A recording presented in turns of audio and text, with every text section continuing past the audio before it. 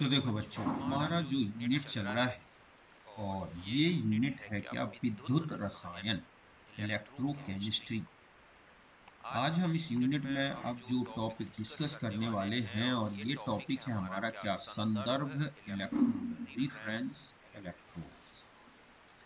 तो देखो बच्चों, संदर्भ इलेक्ट्रोड मीन्स ऐसे इलेक्ट्रोड जिनका उपयोग दूसरे तत्व के मानक इलेक्ट्रोड विभव के मापन में किया जाता है।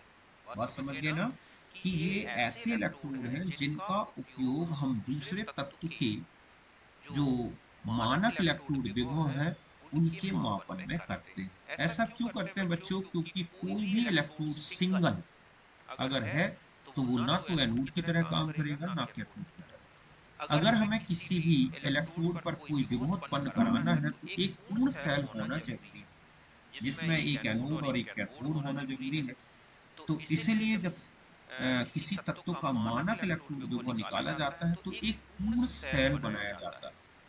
उस सेल में एक इलेक्ट्रोड को संदर्भ इलेक्ट्रोड लगा दिया जाता है और दूसरा इलेक्ट्रोड वह होता है जिस तत्व का हमें मानक इलेक्ट्रोड विभव निकालना और इस तरह से एक पूर्ण सेल बना के और उस सेल का सेल विभव ज्ञात किया जाता है। तब जाके हम किसी तत्व का मानक इलेक्ट्रोड विभव निकाल सकते हैं। और इसके लिए दो प्रकार के इलेक्ट्रोड यूज़ होते हैं। इनमें से एक तो है मानक हाइड्रोजन इलेक्ट्रोड या इसी को बोला गया है प्राथमिक संदर्भ इलेक्ट्रोड ठीक है? ये क्या है? प्राथमिक संदर्भ इलेक्ट्रोड और दूसरा जो है ये है द्वितीयक संदर्भ इलेक्ट्रोड, जिसमें calomel electrode, gas electrode quinhydrone electrode, इनका यूज़ किया जाता है। ये है द्वितीयक संदर्भ इलेक्ट्रोड। तो इनके मान, जो द्वितीयक संदर्भ इलेक्ट्रोड है, इनके इलेक्ट्रोड विभव एक्चुअली पहले किससे निकाल लिए गए हैं? प्राथमिक संदर्भ इलेक्ट्रोड से। और फिर हम इनका यूज़ करके भी किसी दूसरे तत्व के मानक इलेक्ट्रोड विभव का भी निर्धारण कर सकते हैं। हमें यहाँ जो पढ़ना है वो है मानक हाइड्रोजन इलेक्ट्रोड से किसी तत्व का मानक इलेक्ट्रोड विभव निकाल। तो सबसे पहले मैंने यहाँ पे मानक हाइड्रोजन इलेक्ट्रोड के बारे में थोड़ा सा लिख दिया है या यह इसका डायग्राम से। इसको बोला जाता है प्राथमिक संदर्भ इलेक्ट्रोड। समझ गया ना जो मानक हाइड्रोजन इलेक्ट्रोड है ये है एक प्राथमिक संदर्भ इलेक्ट्रोड। आईयूपीएससी सिस्टम के अनुसार इसका जो स्टैंडर्ड इलेक्ट्रोड पोटेंशियल है वो ज़ीरो होता है। कितना होता है? ज़ीरो यह दूसरे इलेक्ट्रोड के सापेक्ष एनोड और कैथोड के समान कार्य करता है। मतलब जब हम एक पूर्ण सेल बना लेते हैं, जब हमें मानक इलेक्ट्रोड विभव निकालना होता है और इसको उस इलेक्ट्रोड से जोड़ते हैं तो ये एनोड के समान भी हो सकता है और कैथोड के समान। और इस तरह का ये होता है हाइड्रोजन इलेक्ट्रोड इसमें ये जो है, ये है कांच ग्लास जैकेट होता है। कांच का जैकेट। ठीक है इस तरह से। इसके अंदर ये एक कांच की ट्यूब लगी है जिसमें एक कॉपर वायर लगा है और इस कॉपर वायर के नीचे बिल्कुल टर्मिनल में पीटी फॉइल लगी होती है जिसमें पीटी ब्लैक ठीक है? डस्ट चिपकी हुई। और इस पूरे सॉल्यूशन में एस का सॉल्यूशन वन मोलर भरा होता है और ये पूरा इलेक्ट्रोड डूबा होता है। यहाँ से hydrogen gas one ATM pressure पर एंटर कराई जाती है और ये जो है बाहरी परिपथ से संबंध बनाने के लिए रखा जाता है तो इस तरह से यहाँ से एक एटीएम में जब हाइड्रोजन गैस अंदर जाती है तो कुछ हाइड्रोजन यहाँ पर एडजॉर्ब हो जाती है एच के फॉर्म में और यहाँ पर H प्लस और यहाँ पर क्या रहेगा H2 तो ये एक दूसरे के साथ इक्विलिब्रियम में रह सकते हैं एक उत्क्रमणीय इलेक्ट्रोड मतलब ये H प्लस उत्पन्न कर भी सकता है और H प्लस एब्जॉर्ब कर सकता है। ठीक है? तो इस तरह से ये है मानक हाइड्रोजन इलेक्ट्रोड प्राथमिक संदर्भ इलेक्ट्रोड जिसका मानक इलेक्ट्रोड विभव ज़ीरो है और ये समस्त इलेक्ट्रोड के इलेक्ट्रोड विभव मापन में किया गया है उपयोग इसलिए इसको प्राथमिक इलेक्ट्रोड बोला गया है। जब ये एनोड के समान कार्य करता है तो यहाँ पर ऑक्सीकरण होगा मतलब यहाँ पर H2 का क्या होगा बच्चों? ऑक्सीकरण। जब एनोड के समान कार्य करेगा तो H2 ऑक्सीकरण होगा और H प्लस बनेगी। इससे सॉल्यूशन में H प्लस की सांद्रता बढ़ेगी और हम जानते हैं कि जब एनोड के समान ये लिखा जाएगा तो लिखा जाएगा P T H two gas one ATM oblique H plus नेंसर्ट equation आएगा, मैंने अभी यहाँ पर डायरेक्ट लिख दिया है। H two upon H plus इस इलेक्ट्रोड का इलेक्ट्रोड विभव निकालना है तो ये फॉर्मूला लगेगा minus point zero five nine one log H plus upon H two का प्रेशर का पावर वन बाई क्योंकि H plus minus log H plus equal to P H होता है और यहाँ पर प्रेशर लिया गया है हाइड्रोजन का वन एटी एम होता है। तो इस तरह से इसका ऑक्सीकरण विभव का जो फॉर्मूला बना हुआ है point zero five nine one P H ध्यान रखें, यहाँ पर ऑक्सीकरण क्रिया हो रही है। और मैं ऑक्सीकरण के लिए लिख रहा हूँ कि ये जो वैल्यू लिखी है E H two upon H plus ये है, ऑक्सीकरण विभव। तो इस तरह से हाइड्रोजन इलेक्ट्रोड का जो ऑक्सीकरण विभव है, वो माध्यम के पी एच पर निर्भर करेगा। जैसे जैसे ऑक्सीकरण होगा एच प्लस बढ़ेंगे पी एच घटेगा। और पी एच घटेगा तो इलेक्ट्रोड विभव भी क्या होगा घट जाएगा। इस तरह से ये है। ऑक्सीकरण विभव जब ये कैथोड के समान कार्य करेगा तो यहाँ पर H प्लस जो है का क्या होगा अपचयन मतलब जो बिलियन H प्लस है वो अपचयन होकर हाइड्रोजन गैस बनाएँगे और इसके लिए जो इलेक्ट्रोड विभव लिखा जाएगा E H plus upon H two minus point zero five nine one log P H two का power one by two upon H plus इस तरह से कैथोड के समान जब ये काम करेगा तो इसका जो इलेक्ट्रोड विभव का फॉर्मूला है minus point zero five nine one ये है अपचयन विभव के लिए इक्वेशन और यहाँ पर भी दाब वन एटी एम रख के तो इस तरह से आप देख रहे हैं कि जैसे जैसे H प्लस डिक्रीज होंगे पीएच बढ़ेगा तो अपचयन विभव भी नेगेटिव से बढ़ता जाएगा। अपचयन में H प्लस आयन डिक्रीज होंगे पीएच इंक्रीज होगा तो इस तरह से नेगेटिव वैल्यू बढ़ेगी मींस हम अपचयन विभव कहें कि ये घट। रहा है तो इस तरह से यहाँ पर ये हाइड्रोजन इलेक्ट्रोड के थ्रू हम क्या कर सकते हैं इस तरह से हाइड्रोजन इलेक्ट्रोड के बारे में पहले मैंने डिटेल बता दी। यहाँ पर एक क्वेश्चन है कि 25 डिग्री सेंटीग्रेड पर पीएच 10 वाले अम्लीय विलयन में हाइड्रोजन इलेक्ट्रोड का ऑक्सीकरण एवं चयन विभव का तो ऑक्सीकरण विभव तो सीधा ये फॉर्मूला लगा दोगे 0.0591 इनटू पीएच तो पीएच रख दिया आपने 0.591 वोल्ट आ गया। और अगर ये डायरेक्ट इलेक्ट्रोड विभव भी लिखा होता कि हमें लिखा होता कि पीएच 10 वाले विलयन में हाइड्रोजन इलेक्ट्रोड का इलेक्ट्रोड विभव क्या होता तो आप ध्यान रखें चयन विभव निकालते क्या निकालते अपचयन मतलब इसी को हम कह सकते हैं क्या? इलेक्ट्रोड विभव। तो अपचयन विभव निकाल और अपचयन विभव को minus point zero five nine one की वैल्यू रख दी तो ये आ गया आपका अपचयन अब आता है कि एस एच ई द्वारा तत्वों के मानक इलेक्ट्रोड विभव का मान स्टैंडर्ड हाइड्रोजन इलेक्ट्रोड से हमें दूसरे तत्वों के मानक इलेक्ट्रोड विभव निकालना है तो देखो सेल विभव का एक फॉर्मूला है कि कैथोड का अपचयन विभव ठीक है माइनस एनोड का अपचयन विभव मानक अपचयन विभव निकाल मतलब E naught cell equal to cathode का अपचयन विभव या इलेक्ट्रोड विभव माइनस एनोड का इलेक्ट्रोड विभव या अपचयन। यदि सेल में एक इलेक्ट्रोड एस एच ई है तो सेल विभव ही तत्व का इलेक्ट्रोड विभव बन जाएगा। ऐसा क्यों बच्चों? क्योंकि एस एच ई का इलेक्ट्रोड विभव मानक इलेक्ट्रोड विभव जो है। मानक यहाँ लिख देगा मानक इलेक्ट्रोड विभव ये क्या है ज़ीरो तो चाहे एनोड के समान काम करे या कैथोड एक वैल्यू ज़ीरो होगी तो सेल विभव ही क्या बन जाएगा? तत्व का इलेक्ट्रोड विभव ठीक है मान लिया जाए कि एस एच हाइड्रोजन इलेक्ट्रोड जो है वो कैथोड है। तो E cell naught equal to जाएगा माइनस ई एन। मतलब है एनोड का इलेक्ट्रोड विभव जैसे जिंक का इलेक्ट्रोड विभव कितना है? निकालना है? और जिंक का इलेक्ट्रोड यूज़ करने से हमें सेल विभव मिल रहा है 0.76 वोल्ट तो जिंक का जो अपचयन विभव आएगा माइनस पॉइंट सेवन सिक्स ये बात समझ गए ना? कि माना कि ऐसा चाहिए कैथोड तो सेल विभव इक्वल टू जाएगा एनोड का इलेक्ट्रोड विभव और माइनस साइन बचेगा। सेल विभव हमेशा धनात्मक होता है गैल्वेनिक सेल तो सेल विभव की वैल्यू रख दी आपने तो इस तरह से अगर कोई भी तत्व हाइड्रोजन इलेक्ट्रोड के रिस्पेक्ट में एनोड की तरह कार्य करेगा तो ध्यान रखें उसका अपचयन विभव हमेशा ऋणात्मक आएगा। यहाँ पे लिख दे रहा हूँ कि कोई भी तत्व ठीक है? हाइड्रोजन। इलेक्ट्रोड के सापेक्ष एनोड का कार्य करता है तो मानक तो तत्व का मानक इलेक्ट्रोड विभव नेगेटिव होता समझ गए ना? इस तरह से जैसे जिंक। अब मान लो कि हाइड्रोजन इलेक्ट्रोड एनोड के समान कार्य करता है। तो सेल विभव और इलेक्ट्रोड विभव बराबर होंगे विद सम जैसे सीयू इलेक्ट्रोड प्रयोग करें। ठीक है?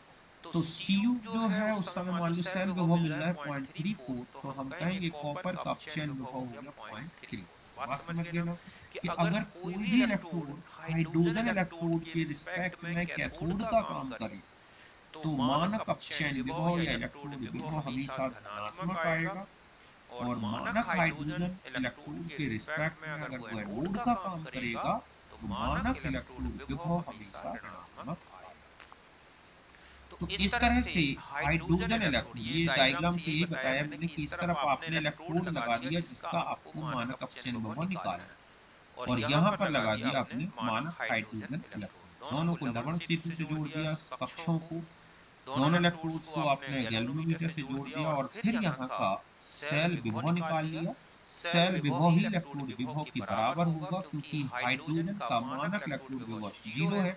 अब अगर ये जो इलेक्ट्रोड है वो एनोड के समान कार्य करे एसएचई के रिस्पेक्ट में तो मानक इलेक्ट्रोड विभव ऋणात्मक हो जाएगा और अगर ये कैथोड के समान कार्य करे एसएचई के रिस्पेक्ट में तो मानक इलेक्ट्रोड विभव धनात्मक यहाँ तक बात क्लियर है फिर हम आते हैं विद्युत रासायनिक श्रेणी।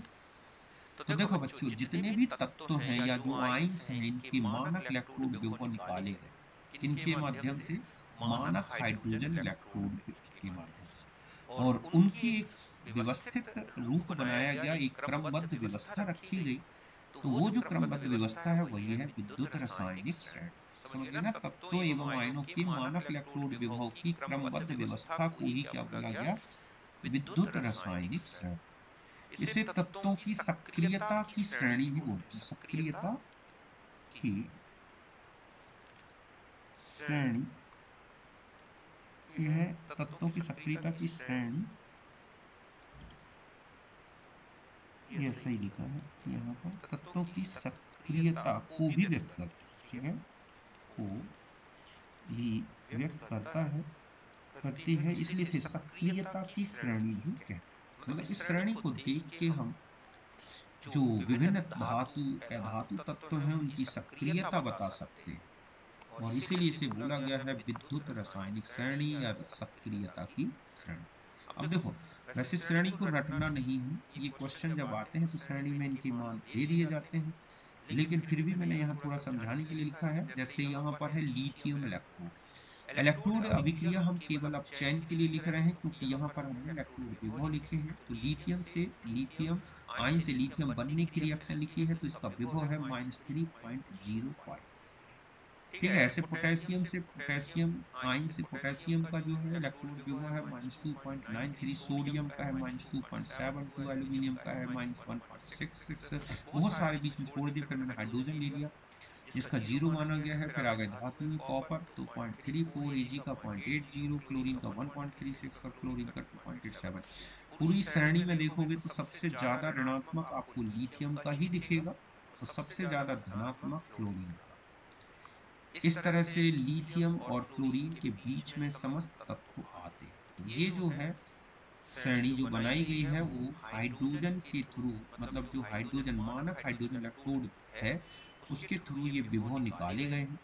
इन विभव का निर्धारण हम द्वितीय संदर्भ इलेक्ट्रोड से भी कर सकते हैं मतलब दोनों इलेक्ट्रोड में से एक इलेक्ट्रोड का विभव हमें पता है और सेल विभव पता है तो हम जो भी इलेक्ट्रोड आपने प्रयोग किया है, उससे भी आप उसका भी क्या निकाल सकते हैं, मानक इलेक्ट्रोड तो इस तरह से ये है हमारी विद्युत रासायनिक श्रेणी। अब आता है विद्युत रासायनिक श्रेणी की क्या विशेषताएँ हैं? क्योंकि इसी से हमें बहुत सारे क्वेश्चन करने हैं। देखो, पहला लिखा है कि ऋणात्मक ई ज़ीरो वाले तत्व हाइड्रोजन के अपेक्षा प्रबल अपचायक और धनात्मक ई वाले तत्व हाइड्रोजन की अपेक्षा दुर्बल अपचायक या प्रबल ऑक्सीकारक या प्रबल ऑक्सीकार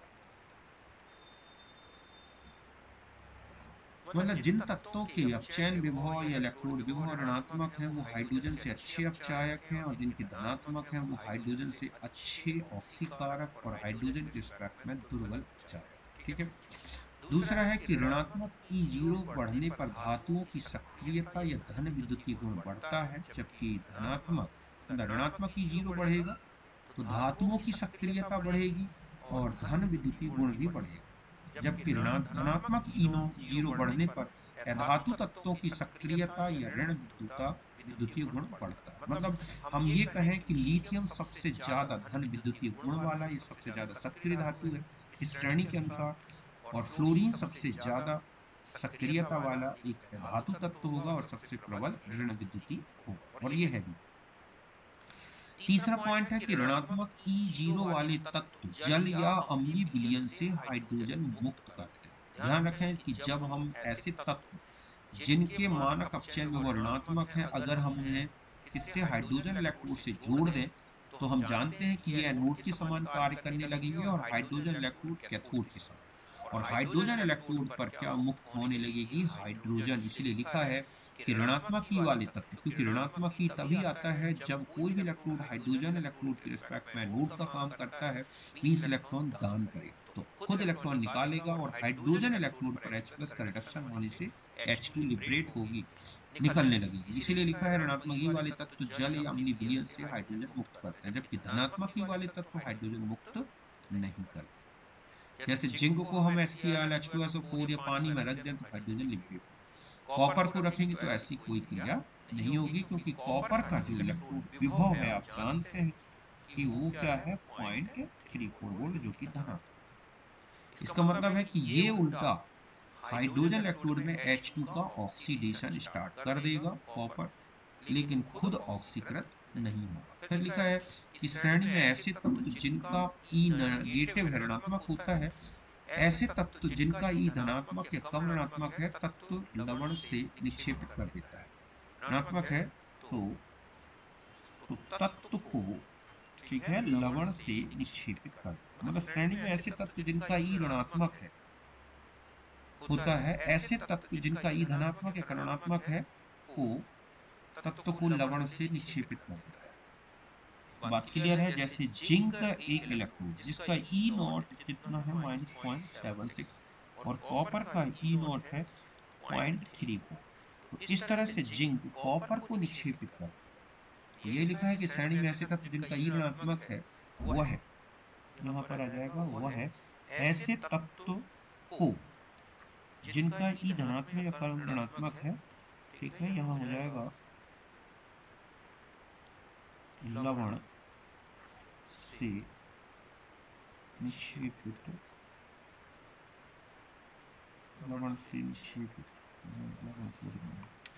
निक्षेपित कर मतलब कॉपर सल्फेट में जिंक मिला दें तो जिंक सल्फेट बन जाएगा और कॉपर जो है होकर बाहर आएगा मतलब स्थापित हो तो ये इसकी विशेषता है और इस जो सिद्धांत का प्रयोग धातु के अवक्षेपण में धातुओं के निष्कर्षण में जैसे कि गोल्ड है सिल्वर है इनके निष्कर्षण में किया जाता है मैक आर्थर फॉरेस्ट मेथड।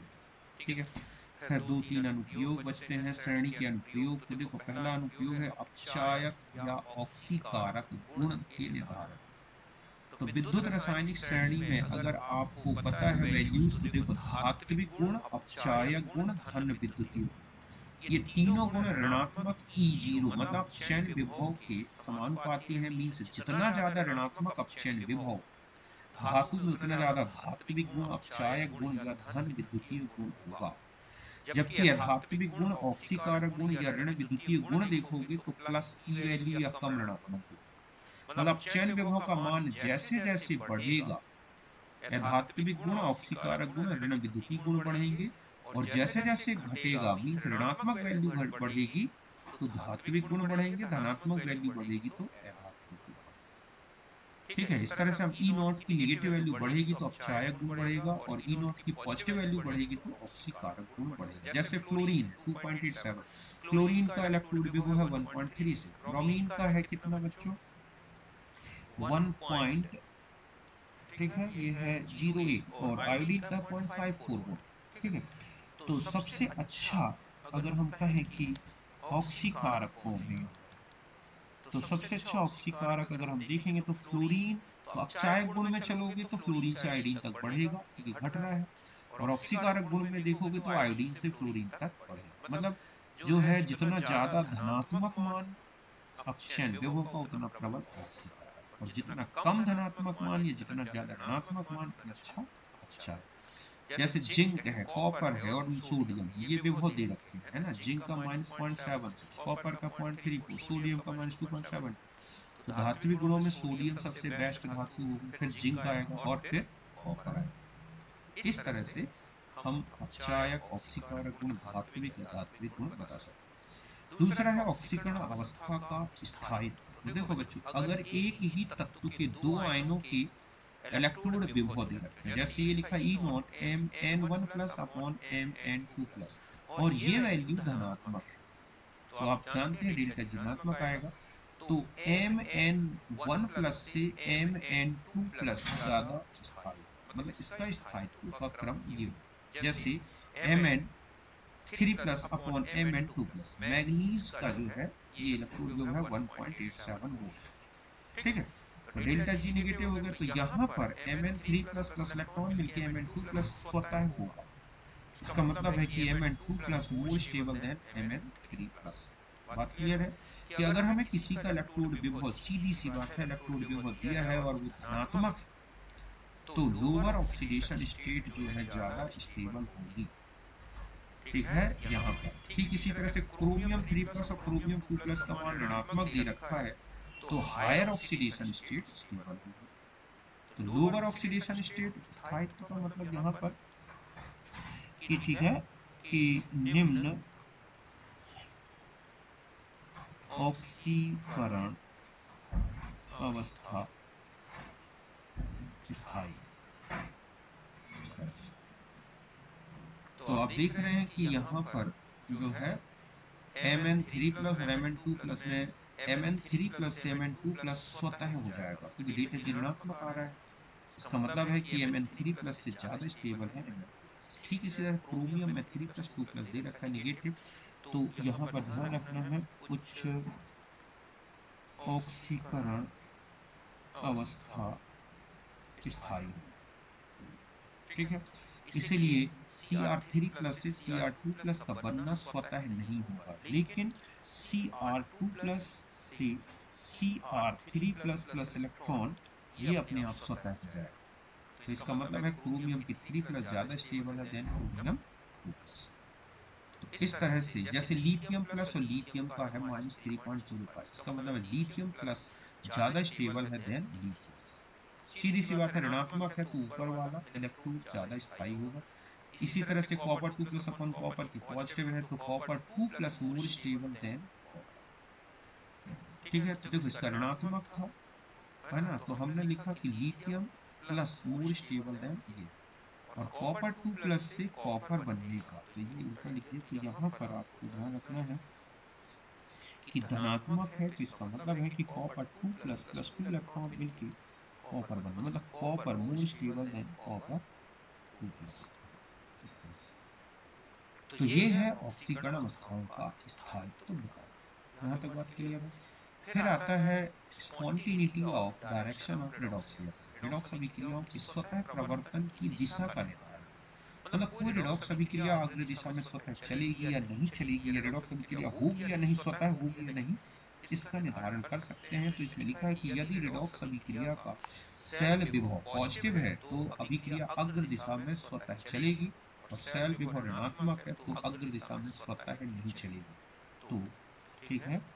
अग्र दिशा में यहाँ पर स्वतः नहीं चलेगी जैसे ये लिखा two K I plus C L two two K C L right अब आता है कि आप कैसे सेल विभव निकालो।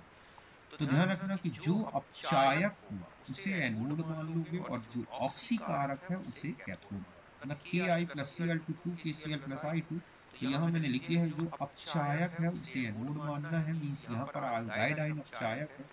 और जो ऑक्सीकारक है, जो इलेक्ट्रॉन ग्रहण कर रहा है, उसे आप कैथोड मानना है मीन्स यहाँ सी एल टू ऑक्सीकारक इनके आपको ये विभव दे रखे हैं, आयोडीन का अपचयन विभव और क्लोरीन का अपचयन विभव। आपने इनका प्रयोग किया।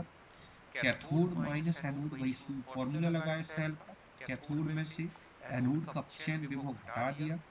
तो क्लोरीन था 1.36 आयोडीन 1.54 जो 0.82 आ रहा है, जो पॉजिटिव इसका मतलब है कि इस तरह Cl2 ऑक्सीकारक और आयोडाइड अपचायक होगा तथा रेडॉक्स स्वतः होगा और अगर यही वैल्यू उल्टा कर दी जाए तो ये स्वतः नहीं होगा, है ना?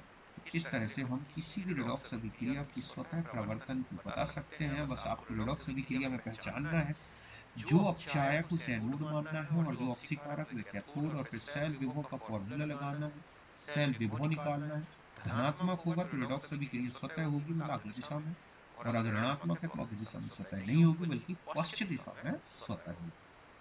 फिर आता है सेल विभव की गणना। तो मैंने आपको सेल विभव का फॉर्मूला बताया था। सेल विभव निकालना है तो कैथोड का इलेक्ट्रोड विभव माइनस एनोड का इलेक्ट्रोड ये आपको दोनों की रिडक्शन पोटेंशियल है तो इस फॉर्मूले का यूज़ कर लो। किसी भी फॉर्मूला जितने भी मैंने सेल विभव निकालने के बताए हैं उनमें से किसी का भी यूज़ करोगे, आएगा सेम जैसे जिंक जिंक सल्फेट और कॉपर ये है डेनियल सेल आपको जिंक का मानक इलेक्ट्रोड विभव दे रखा है कॉपर का दे रखा है।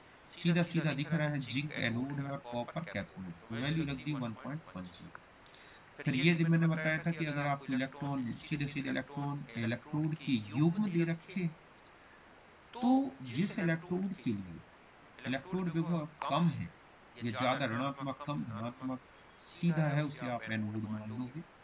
और जो ज़्यादा है वो धनात्मक धनात्मक रूप से या कम ऋणात्मक उसे कैथोड जैसे पहले बार कॉपर का है, मानक इलेक्ट्रोड विभव पॉइंट थ्री सिल्वर का है पॉइंट एट ज़ीरो। आपने सेल विभव निकाला कैथोड बन जाएगा? कॉपर सॉरी सिल्वर का।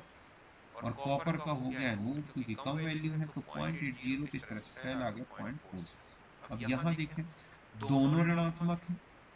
तो जो कम ऋणात्मक है, उसे कैथोड मानना है? जो ज़्यादा ऋणात्मक, उसे इस तरह से आयरन का तो बन गया कैथोड और जिंक का बन गया क्या? एनोड और इस तरह से पॉइंट थ्री फोर वोल्ट आ गया। और एक धनात्मक, एक ऋणात्मक है तो धनात्मक कैथोड और ऋणात्मक एनोड मान लेना। तो यहाँ पर सिल्वर का तो बन गया कैथोड और आयरन का बन गया एनोड तो सेल विभव हमेशा धनात्मक लाना है, सेल के अनुसार। अगर वो गैल्वेनिक सेल के समान कार्य कर रहे हैं तो। ठीक है, ठीक इसी तरह से लिखा, निम्नलिखित किस युग्म का सेल विभव अधिकतम तो देखो, लिथियम का दे रखा है, पोटेशियम का, क्लोरीन का, क्लोरीन तो मैंने आपको बताया था कि अगर आपको बहुत सारे इलेक्ट्रोड इलेक्ट्रोड विभव दे रखे हैं और पूछ ले कि अधिकतम सेल विभव कब मिलेगा तो आप कैथोड उसे मानो जो सबसे ज़्यादा धनात्मक है और एनोड उसे मानो जो सबसे ज़्यादा ऋणात्मक है और फिर वैल्यू निकाल लो, इससे ज़्यादा वैल्यू किसी में नहीं आएगी। इस तरह से हमने यहाँ पर कैथोड किसको मान लिया? फ्लोरीन एनोड किसको मान लिया? लिथियम वैल्यू निकाल। ठीक है? फिर कुछ इंपॉर्टेंट रिलेशंस बचे। तो देखो बच्चों, इनमें भी क्वेश्चन आते हैं। जैसे कोई एक सेल रिएक्शन लिखी है A plus B equal to C plus D और ये है के वन और ई वन और डेल्टा जी फिर उसमें एन से कोई गुणा करते हैं N one N A plus और ये होगा के टू ई टू और ये है डेल्टा जी तो आपसे पूछा जाए कि इनमें क्या संबंध आएँगे। तो देखो के तो हो जाएगा के वन का स्क्वायर और यह कहें पावर एन लगा दें यहाँ क्या लगेगा? एन ठीक है, डेल्टा जी टू हो जाएगा एन इंटू डेल्टा जी लेकिन ई वन ई टू बिल्कुल बराबर इनमें कोई गुणन मतलब इनकी न्यूमेरिकल वैल्यू में कोई चेंजेस नहीं रहेगा सेल विभव हो या इलेक्ट्रोड विभव या फिर हम ये कह सकते हैं ये इलेक्ट्रोड विभव भी है तो भी ये इस तरह से है। ठीक है? दूसरा समीकरण है कि मान लो आपने डिवाइड कर दिया किसी एन वैल्यू से, और ये दे रखे हैं के डेल्टा जी और ई तो K two equal to K one का power one by N delta G two equal to delta G one upon N लेकिन ई टू और ई वन बिल्कुल बराबर होते ठीक है? एक रिलेशन और बता दूँ जैसे ए से बी लिखा है। ये है के वन डेल्टा जी वन और ये है ई और फिर बी से ए बना दिया जाए और ये है के टू डेल्टा जी टू और ये है ई टू। तो K two equal to one upon K one delta G two equal to minus delta G one और E two equal to minus ये रिलेशन है। पलट दीजिए ठीक है? ठीक इसी तरह से मान लिया जाए कि एक रिएक्शन है ए प्लस एन वन मिलके बी बन रहा है। बी से प्लस एन टू मिलके सी बना। मान लो डायरेक्ट ए से सी बना दिया जाए तो N one plus N two को हम मान लें एन थ्री और इनके सेल विभव दे रखे हैं E one E two E three electrode विभव दे रखे हैं और उनके मुक्त ऊर्जा परिवर्तन। ध्यान रखें, अगर दो सेल अभिक्रिया या दो इलेक्ट्रोड अभिक्रिया मिलकर कोई तीसरी अभिक्रिया बना रहे हैं तो delta G three equal to होगा delta G one plus delta G two यहाँ पर N two E three equal to N one E one plus N two इस तरह से संबंध याद रखें फिर से सुने दो इलेक्ट्रोड अभिक्रिया मिलकर तीसरी बन जाए तो उनका उस तीसरी अभिक्रिया का इलेक्ट्रोड विभव या सेल विभव निकालना है तो ये संबंध याद रखना है। N three E three equal to N one E one plus N two E जैसे यहाँ लिखा है F E two plus F E का है X F E three plus F E का एक्स टू तो F E three plus F two से क्या हो तो सबसे पहले आपने इनको इलेक्ट्रोड देख के इनकी इलेक्ट्रोड अभिक्रिया लिख ली कि F E two plus F E बन रहा है दो इलेक्ट्रॉन लेके ई वन है X F E three plus में तीन इलेक्ट्रॉन जुड़ के एफ़ ई बन रहा है ई टू है एक्स टू हमें प्राप्त करना है F E three plus electron से एफ़ ई टू हम इन दोनों समीकरणों को ऐसा लिखें अलट पलट करके कि उनका जोड़ हमारा ये समीकरण आ जाए जो हमें प्राप्त करना है। तो हम क्या करेंगे? जो पहला समीकरण है, उसको पलट दें। तो एफ़ से F E two plus plus two electron तो यहाँ ई वन एक्स था तो माइनस अब क्या हो जाएगा? एक्स वन ये पहले बता दिया, पलट दोगे तो माइनस साइन लगेगा एन टू की एन वन की वैल्यू आ गई टू जो कि इलेक्ट्रॉन जो यहाँ पर रिलीज़ है फिर दूसरे को सेम लिखो इस तरह से। F E three plus plus three electron F E two हमने चेंज नहीं किया तो एक्स टू रहेगा और एन टू वही थी अब दोनों को जोड़ दो। तो ये बन गया F E three plus plus electron F E two plus E three बस ई थ्री इक्वल टू समीकरण लग जाएगा E one N one plus N E two upon N three ये संबंध आ गया। E three equal to three X two minus two X ये लिखा है one by C L two C L two equal to C L minus C one है X सी L minus से C L O three है E two तो direct दोनों को जोड़ दें तो ये आएगा। तो सीधा है E three equal to E one N one E two E two ये बस इनके हमें ई वन ई टू की वैल्यूज़ दे रखी है इस फॉर्मूले रख दो आंसर आ जाएगा ठीक इसी तरह से लिखा है एफ़ ई टू प्लस और F three plus F two है पॉइंट सेवन सेवन वन तो F E plus two F three इसके लिए सेल विभव क्या हो तो बस हम पहले समीकरण में लिख रहे हैं कि थ्री प्लस से, ठीक है, यहाँ पर लिखा है एफ़ ई तो इक्वेशन नंबर हमारे पास है two F E three plus plus two electron two F minus है ना? दूसरे ये वाली इक्वेशन को पॉइंट सेवन सेवन की थ्री प्लस से एफ़ टू प्लस बनना है तो हमें यहाँ दिख रहा है सीधा सीधा कि थ्री एफ़ टू प्लस लाना है। और टू एफ़ थ्री प्लस लेना है तो हमें एक का तो दे रखा है F three plus F two का तो हम क्या करेंगे इस वाली इक्वेशन को जो लिख के मतलब ये वाला जो इक्वेशन है, देखो, पहले इसको बना दो। आप F E three plus plus electron equal to क्या होगा बच्चों? F two plus equation one ठीक है? और दूसरी क्वेश्चन जो है आपके पास है ये है F E two plus plus two electron equal to F ये इक्वेशन नंबर है यही बनाए ना आपने ये इक्वेशन बनेगी अकॉर्डिंग टू इनके तो इन दोनों इक्वेशन को देख के ये लाना है। तो देखो इस इक्वेशन में आपके पास two F E three plus लेना है जबकि यहाँ एक दे रखा है। तो मैंने इसमें दो से गुणा कर दिया। दो इलेक्ट्रॉन जोड़ लिए दूसरे इक्वेशन में एफ़ ई को हमें लेफ़्ट में लाना है, जबकि हमें इक्वेशन दो में राइट में रखा, हम दूसरे पलट तो यहाँ पर टू से मल्टीप्लाई किया, लेकिन ई वन में कोई चेंज नहीं आएगा, बस अगर आपने इक्वेशन पलटी है तो निगेटिव था तो पॉजिटिव होगा। तो ई टू हो गया पॉजिटिव एन वन पता है एन टू पता है। यहाँ दो, यहाँ एक मतलब यहाँ पर है। एन वन की वैल्यू टू हो गई और एफ़ ई टू से यहाँ पर वैल्यू वन यहाँ कितनी हो बच्चों यहाँ बनाएँगे ऐसे हो गए फिर आप दोनों को ऐड कर दो तो आपके पास यही इक्वेशन आ गई तो यहाँ पर आपने लिख दिया E three N one E one तो एन वन आप देखो यहाँ पर कितना है आपके पास? टू ई वन आपको दे रखा है पॉइंट सेवन सेवन प्लस दूसरे क्वेश्चन में आप देख रहे हैं कि एन वन की वैल्यू वन रखेंगे तो यहाँ वन रख दो। यहाँ पर क्या जाएगा? वन और अपॉन यहाँ पर देखो टू ई थ्री प्लस से three F E two plus दो इलेक्ट्रॉन एफ़ ही यहाँ पर ज़ीरो और एक, यहाँ एक एफ़ ही जाके मतलब यहाँ से यहाँ जाने पर दो इलेक्ट्रॉन निकले। और यहाँ से यहाँ जाने पर दो इलेक्ट्रॉन जुड़े। तो यहाँ एन टू की वैल्यू होगी टू सॉरी एन थ्री की वैल्यू होगी टू वो मैंने रख दी, और इसको सॉल्व कर लो तो ये आपका आ जाएगा आंसर जो है ई देख लेना एक बार चेक करके। इसको जो भी आएगा, वो उसका आंसर यहाँ पर देख, करके देखो ई थ्री कितना आ रहा तो इस तरह के क्वेश्चन काफ़ी दे रखे हैं आपको। तो ध्यान रखें कि अगर ऐसी कोई रिएक्शन है जो एक हमें लानी जो इक्वेशन वो किन दो इक्वेशन को दे रखे हैं तो आप उनको ऐसे लिख लो कि उनका सम की इसका इक्वेशन बन जाए जो आपको लाना है। फिर लगाओगे आप ये वाला formula E three equal to E one N one plus N two E two ये कुल मिला के सेल विभव इलेक्ट्रॉन विभव विद्युत रसायन श्रेणी इसके बाद बाद में अगली नेक्स्ट उसमें हम देखेंगे कैल्विनिक सेल की डिटेल जिसमें हम सॉरी गैल्वेनिक सेल नहीं उसमें आएगा सेल विभव या इलेक्ट्रोड विभव पर सांद्रता का प्रभाव नेंसर्ट इक्वेशन